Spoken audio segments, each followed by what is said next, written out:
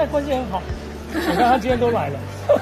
会不会不舍老婆这样爆哭之类的？会啊，就会觉得说啊，因为哭完以后脸肿啊，然后什么的，我们又要花时间处理，对，就是说增加工作量的，这个就是因为那个工作太忙。啊，工作太忙啊，这个呃，但是我们有努力的协调啊，所以像过年啊，这次就是疫情解除开放之后，呃，过年啊，还有包括二二八年假，就是我们等于在短短的大概一个月之内，我们就家族旅游去日本去了两次。对，现在关系很好，你看他今天都来了，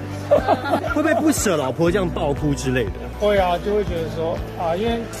哭完以后脸肿啊，然后什么的，我们又要花时间处理，对，就是说增加工作量的。其实我们不管是不是长期出差哈，我们在我在大，我记得如果有去大陆或是去国外演讲的，我们大概我们每一天都会视讯哦，所以不是靠这个维持，是这基本上是算我们的日常。之前老哥有说你有进步，就是对他有变比较好，就懂得改变。那你觉得你自己进步最多的地方是哪里？坦白讲，因为我们工作呃忙碌之余，下了班回到家就会呃关心小孩的功课啦什么的，我们比较传统啊。那所以在就是现在就是要平衡一下，